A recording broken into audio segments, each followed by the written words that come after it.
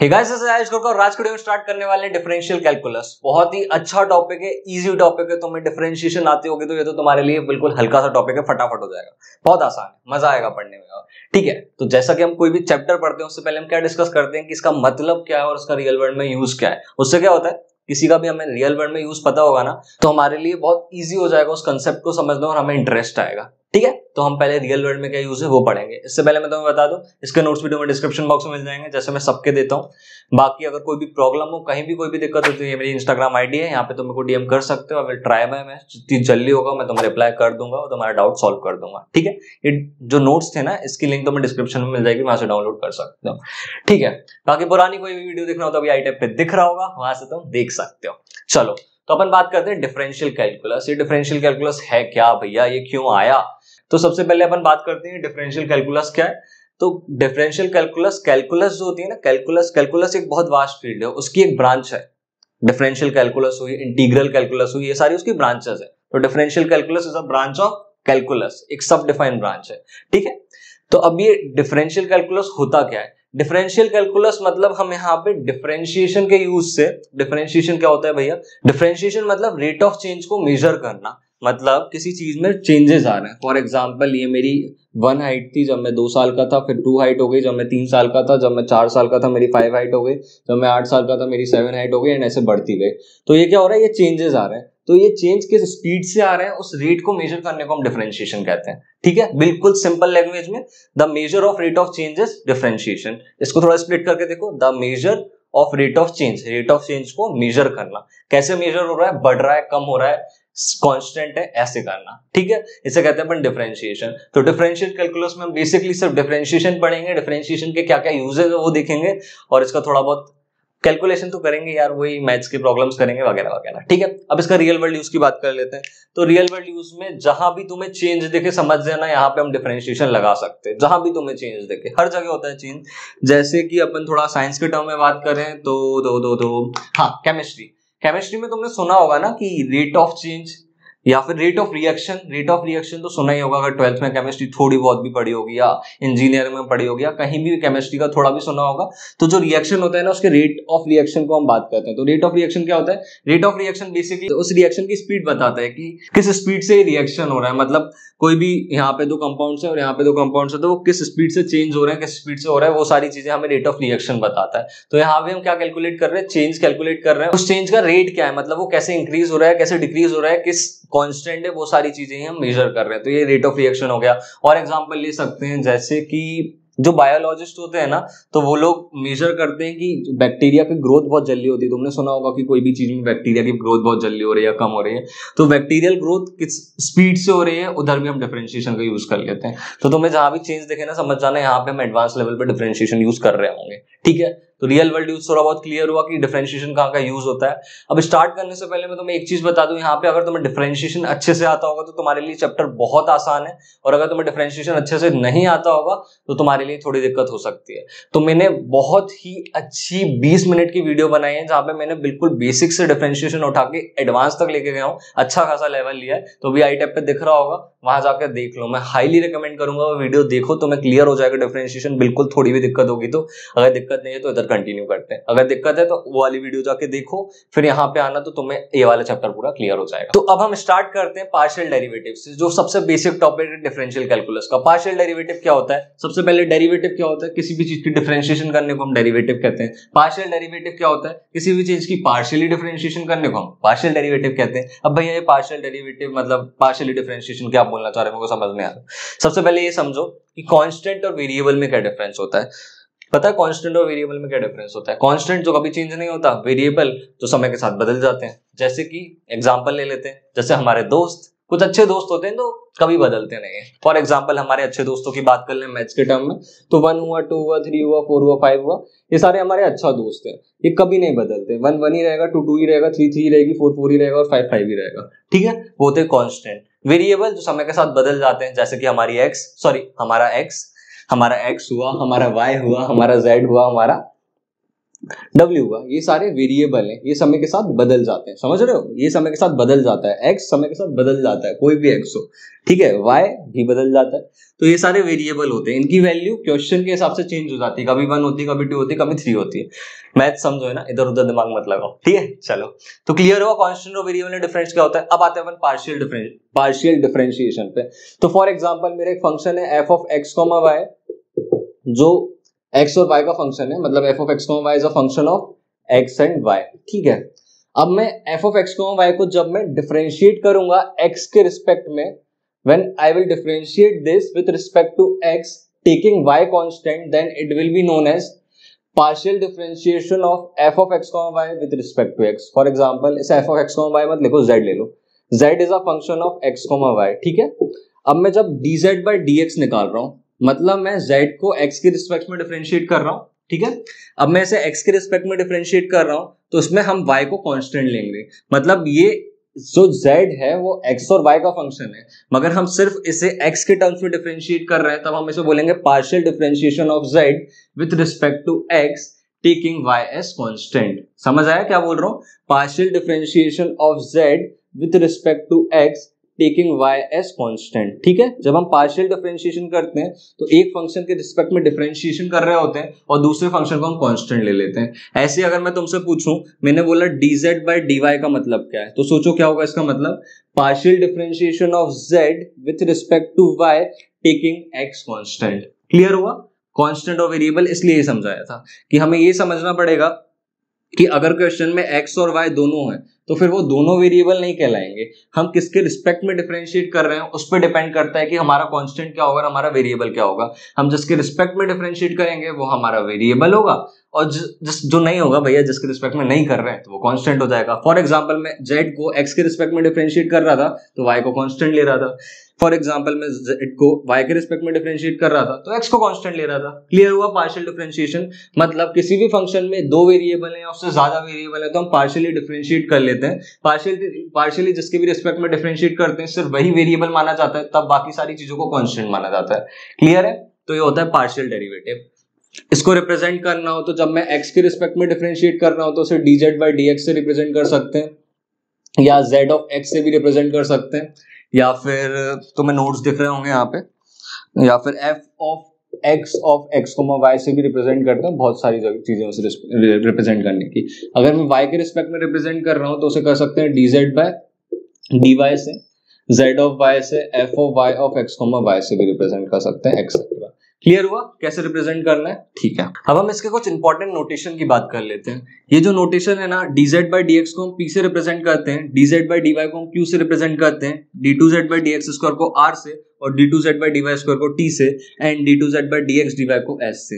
ये सारे notation standard notation है कहीं दिख जाए तो घबराना मत। क्वेश्चन में देख सकते हैं। जैसे कि तुम्हें क्वेश्चन दे देंगे p x plus q y equals to z तो तुम्हें क्यू पी से समझ आ जाना चाहिए कि ये d z by d x है। और क्यू से समझ आ जाना चाहिए कि ये d z by d y है इज़ इक्वल्स टू जेड ये क्वेश्चन दिया है हमें क्लियर है? तो इन उनको देख के डरना मत बिल्कुल भी, ठीक है? बहुत इजी चीज़ें हैं थोड़ी थोड़ी छोटी छोटी चीज़ें सीख लो, समझ आ जाएगा। ये पी है, ये क्यू है, ये आर है, ये टी है और ये एस है, ठीक है? ये इसके नोटेशन होते हैं। क्लियर है? चलो, अब इसके बाद और चीज़ें partial derivative of higher order तुम्हें नोट दिख रहे होंगे। Partial derivative of higher order मतलब फॉर एग्ज़ाम्पल ये dz बाई डी एक्स है। इसे जब मैं एक बार और x के टर्म्स में डिफरेंशिएट कर दूँगा तो ये क्या हो जाएगा? D two z by d x square इसे कहते हैं partial derivative of higher order मतलब वन से ज़्यादा हो जाता है तो उसे हायर ऑर्डर कहने लगते हैं। बाकी बकवास है, वो तो अपने को समझ आता है, ये सेकंड ऑर्डर है। इसको एक और बार डिफरेंशिएट करूँगा एक्स के टर्म में तो वो थर्ड ऑर्डर हो जाएगा। मगर अगर मैं इसी को वाई के टर्म्स में डिफ्रेंशिएट कर दूँ तो क्या हो जाएगा? D z by d y d x ठीक है? ये भी हायर ऑर्डर ही है। D two z by d y d x clear है?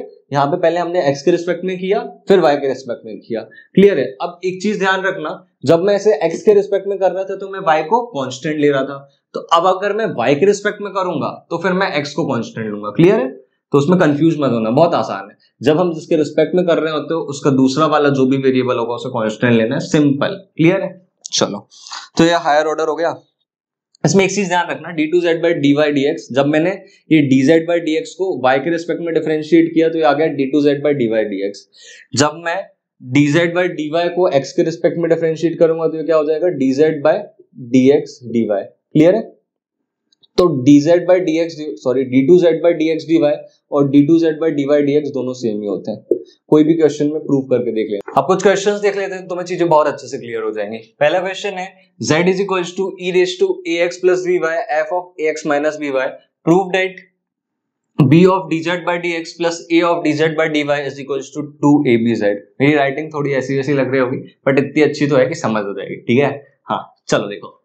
तो इसमें क्या करना है? हमें dz बाई डी निकालना है dz बाई डी निकालना है, यहाँ पुट कर दो, जो भी आंसर आएगा, वो अपने आप ही प्रूव हो जाता है, ठीक है? तो निकालते हैं। तो dz बाई डी क्या होगा? इसमें अपन with respect to x differentiate करते हैं। Dz बाई डी हो जाएगा क्योंकि ये भी फ़ंक्शन ऑफ़ एक्स है, ये भी फ़ंक्शन ऑफ़ एक्स है तो इसमें क्या लगेगा? प्रोडक्ट रूल लगेगा। प्रोडक्ट रूल लगाएँगे तो ये क्या हो जाएगा? मैं डायरेक्ट लिख रहा हूँ। इतनी डिफरेंशिएशन तो आती होगी। अगर नहीं आती तो मैं रिकमेंड कर रहा हूँ। अभी आई टैप पे दिख रहा होगा, उस आई टैप पे क्लिक करो और वीडियो जाके देख लो। डिफरेंशिएशन में थोड़ा भी डाउट हो तो।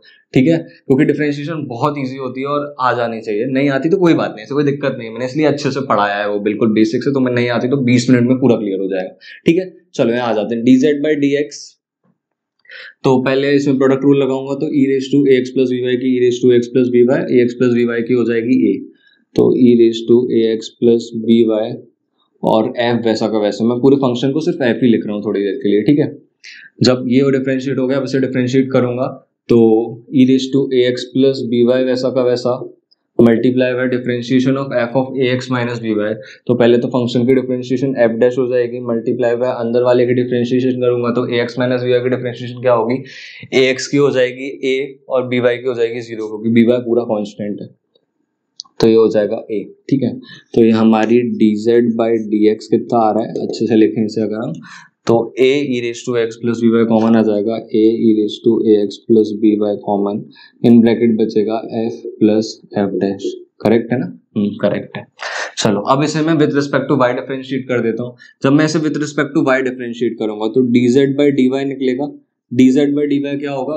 इसकी डिफरेंशिएशन वापस वही प्रोडक्ट रूल लगेगा प्रोडक्ट रूल लगाएँगे तो पहले की डिफरेंशिएशन सेकंड वैसा का वैसा। इसको डिफरेंशिएट करेंगे तो ई रेस टू एक्स की differentiation e raise to x होती है। A x plus v y की डिफरेंशिएशन बी हो जाएगी क्योंकि ये कांस्टेंट है, इसकी ज़ीरो हो जाएगी। बी वाई की डिफरेंशिएशन में वाई की डिफरेंशिएशन वन होगी बी वैसा का वैसा। तो जाएगा b e raise to a x plus b y multiply by f plus फिर ये वैसा का वैसा, इसकी differentiation e raise to a x plus b y और फ़ंक्शन की डिफरेंशिएशन सबसे पहले एफ़ डैश मल्टीप्लाई बाय अंदर वाले की differentiation with respect to y करेंगे जब तो ये वाला पार्ट पूरा ज़ीरो हो जाएगा और ये वाला माइनस बी बचेगा तो माइनस बी हो गया।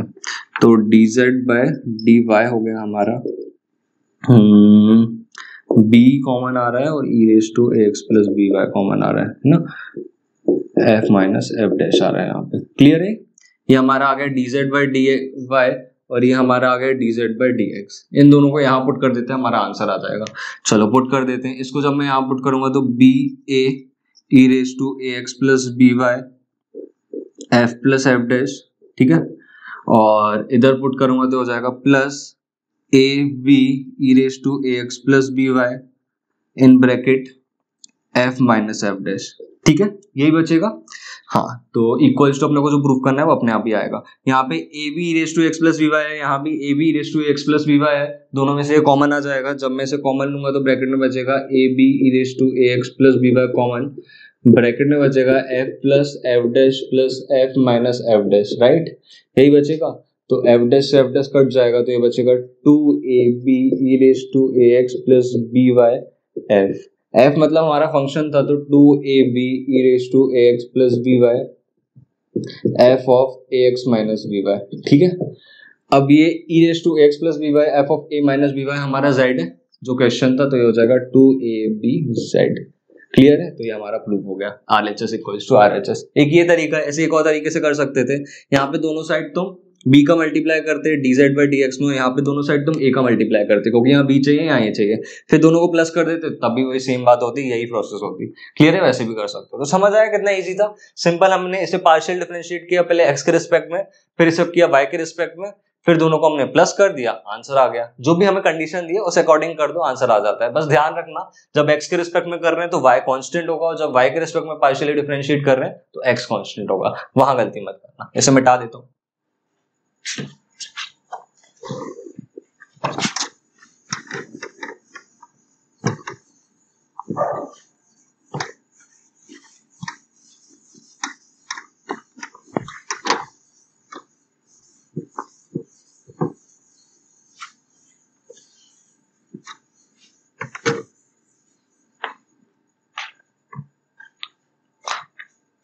तो अब नेक्स्ट क्वेश्चन देख लेते हैं। नेक्स्ट क्वेश्चन है z equals to e raise to x y z find d q by d u अरे, यहाँ पे यू है और यहाँ पे जेड है। ये यू होगा। U is equals to e raised to x y z. Find d3u of dx dy dz निकालते हैं, बहुत आसान है। एक बार x के रिस्पेक्ट में करेंगे, फिर y के रिस्पेक्ट में करेंगे, फिर z के रिस्पेक्ट में करेंगे। ये जो नीचे जो ऑर्डर लिखा है, ज़रूरी नहीं इसी में करो, आपको जिसमें करना उसमें करो आंसर सेम ही आएगा। ठीक है तो मैं x के रिस्पेक्ट में करना ज़्यादा प्रेफर करता हूँ, मेरे को पसंद है x d u by d x करूँगा जब मैं। जब इसे मैं पार्शियली डिफरेंशिएट करूँगा एक्स के टर्म्स में तो क्या होगा? Y z as a constant behave करेंगे तो ई रेस टू एक्स की तो ई रेस टू एक्स ही होती है तो e raise to y z बचेगा।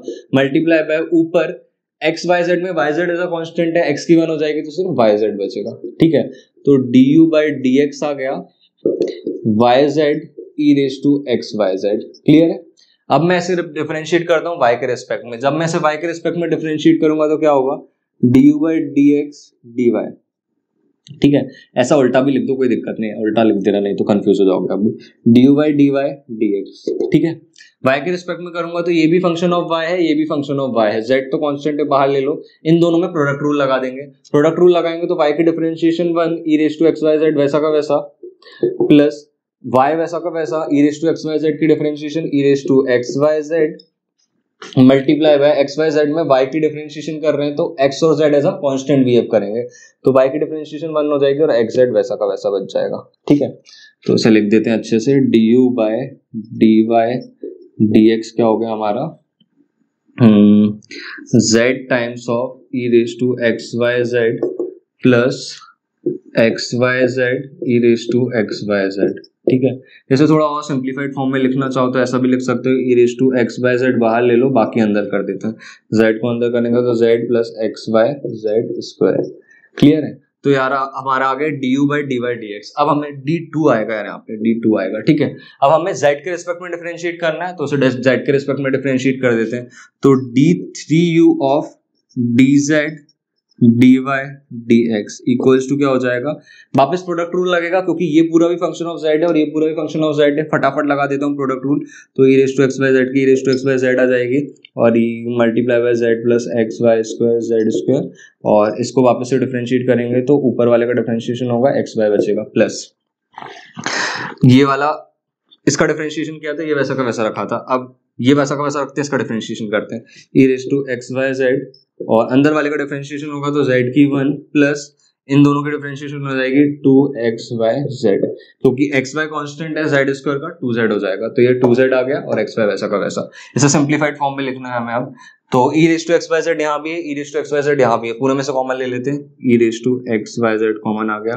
ब्रैकेट में क्या क्या बच रहा है देखते जाते हैं। ये एक्स वाई है ना तो इधर मल्टीप्लाई करूँगा तो आ जाएगा x y z plus x square y square z square plus इधर से कॉमन आएगा तो वन और ये बचेगा तो one plus two x y z ठीक है? तो क्या बचा? X square plus y square plus z square plus one, ये टू है ना तो ये थ्री कर देते हैं इसे मिटाओ। तो आ गया थ्री एक्स वाई जेड तो ये हमारा फाइनल आंसर हो जाएगा। E raise to x y z x square plus y square plus z square plus one three x y z clear हुआ कैसे करते हैं? है ना, आसान, कितना इजी है सिंपल हमें d z by d x d u by d x निकाला d u by d y निकाला d u by d z निकाला। एक एक करके सबके साथ डिफरेंशिएट करते गए डिफरेंशिएशन के थोड़े बहुत रूल लगाते गए आंसर आ गया। बहुत आसान है पार्शियल डिफरेंशिएशन कुछ भी नहीं करना होता है। क्लियर हुआ कैसे करना है? मेरे हिसाब से क्लियर हो गया होगा। अभी भी कोई भी डाउट हो तो मेरे को इंस्टाग्राम पे डीएम करके बता देना लिंक डिस्क्रिप्शन में। तो अब होमवर्क लिख लो। होमवर्क है? ये वाला क्वेश्चन ट्राई करना, ये वाला क्वेश्चन ट्राई करना। इन दोनों के आंसर और पूरा सॉल्यूशन तुम्हें नोट्स में मिल जाएगा बट उससे पहले खुद से ट्राई करना तो तुम्हें क्लियर होगा। अभी तुमने पूरी वीडियो देख ली, अब इन दोनों को ट्राई करो, बहुत इजी इजी है। इसमें तुम्हें एक बार एक्स के रिस्पेक्ट में डिफ्रेंशिएट करना है, फिर बाई के रिस्पेक्ट में डिफ्रेंशिएट करना है, फिर या तो दोनों को माइनस कर देना एक्स वाई से मल्टीप्लाई करके यहाँ पुट कर देना आंसर आ जाएगा। ठीक है? इस वाले में तुम्हें सेटिस्फाई कराना है तो इसमें भी वही चीज़ d two u by d two y by d t square निकालो d two y by d x square निकालो, अपने आप सेटिस्फाई हो जाएगा। बहुत आसान है, खुद से करना, उसके बाद ही सॉल्यूशन देगा, मैं यही रिकमेंड करूँगा। बाकी अगर चैनल पर नए हो तो चैनल को सब्सक्राइब कर दो वीडियो को लाइक कर दो शेयर भी करना। मज़ा आया हो अच्छा लगा हो तो बिल्कुल करना। नहीं आया हो, क्या गलत लगा हो तो उसे कमेंट सेक्शन में बताना, ठीक है? इन दोनों के आंसर भी कमेंट सेक्शन में बताओगे तो और अच्छा लगेगा। लगेगा कि तुम लोग कर रहे हो, नहीं तो तुम, ऐसा ही है कि तुम छोड़ दोगे इसे तो तुम्हारी प्रैक्टिस हो नहीं पाएगी, और फिर वही होगा कि एग्ज़ाम में अच्छा आएँगे नहीं, ठीक है? बाकी आज के लिए इतने, मिलते हैं नेक्स्ट वीडियो में, तब तक के लिए, टाटा बाय बाय